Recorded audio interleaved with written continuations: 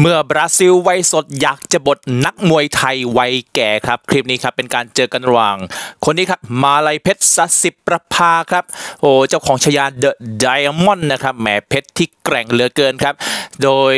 เจอกับคาร์โลอุรุกไกรครับ ชาวบราซิลนี่ฮะนี่เกียรติประวัติของเขานะครับ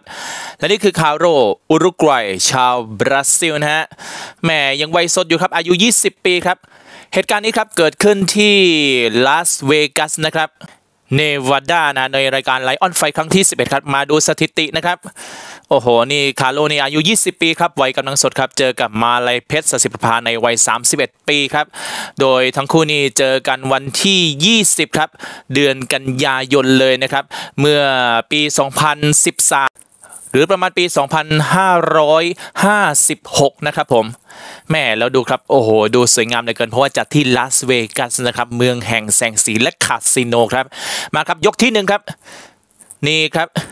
มุมแดงกางเกงแดงนี่ก็นะฮะทางด้านของคนไทยเรานี่เองครับ โอ้โห ใส่เข้าไปก่อนผมจังหวะนี้แม่เข้าไปครับมาเลยเพชรหนึ่งสองครับคาโลกางเกงสีคราวครับชาวบราซิล เข็บเขาหาครับทีมดักไว้ก่อนครับมาเลยเพชร หนึ่งสองครับคาโลทีมาครับคาโลโอ้ยโดนดึงครับสี่เหลี่ยมครับคาโลไลออนไฟนี่เป็นรายการมวยไทยนะครับเป็นรายการกติกามวยไทยใช้ศอกใช้เข่าได้อย่างเต็มที่ครับ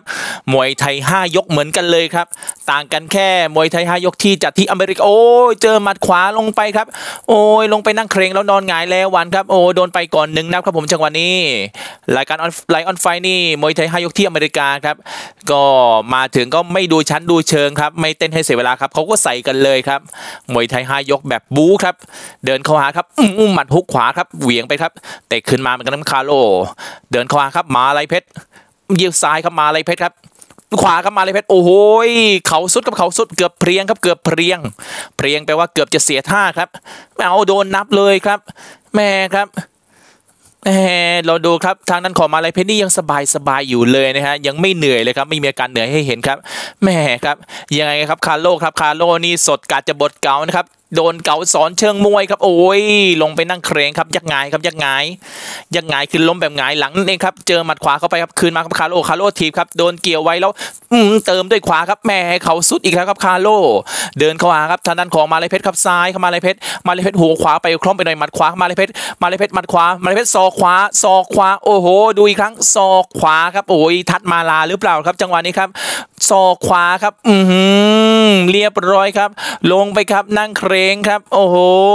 กรรมการคือมันนับไป 2 แล้วครับ กรรมการต้องนับเป็นครั้งที่ 3 แล้วก็ต้องยุติการชกครับ โอ้โห ไม่ต้องเหนื่อยเยอะเลยครับทางนั้นของนี่ครับ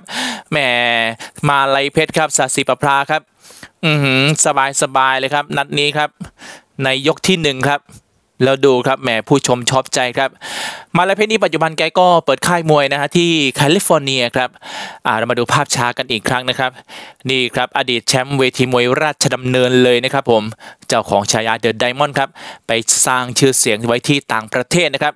โอ้โหหมัดขวาดอกนี้ครับ ลงไปครับยักหงายครับ แล้วหมัดขวาครับ เติมขวาแล้วตามด้วยศอขวาครับถัดมาลาครับ ลงไปครับเรียบร้อยจังหวะนี้ครับ ตั้งคุมกันเลยทีเดียวครับ โอ้โห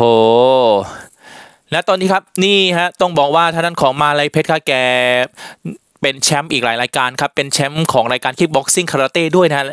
รายการ IKBA World Champion รายการ IKKC USA Champion รายการ IMTO USA Champion รายการ IMTO World Champion และรายการ